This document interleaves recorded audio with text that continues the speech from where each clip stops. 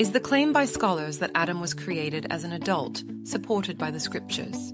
According to this seven award winning book titled The Magnificence of the Three, it is not. Adam and Eve were no less and no more than animals of the field.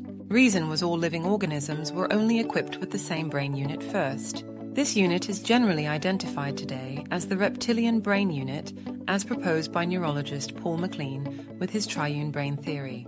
Even though this theory has been discarded by most, it is supported by both the biblical record and neurological design. According to evidence left in Genesis 2, verse 25, immediately after Eve was created, God made known that they were both naked, the man and his wife, and were not ashamed.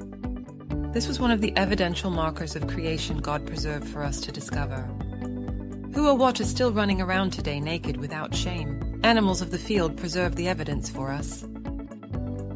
To support God's claim with additional evidence, Eve was recorded as having had a conversation with a snake, a reptile.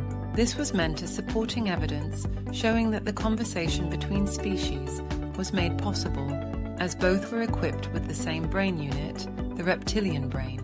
God further preserved the evidence on behalf of the triune brain theory, as the human brains of human fetuses automatically divide into three, not four or ten.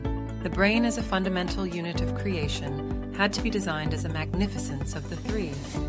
The fetus says so in contradiction to evolution. Get a copy of book to learn more and meet God the scientist made simple.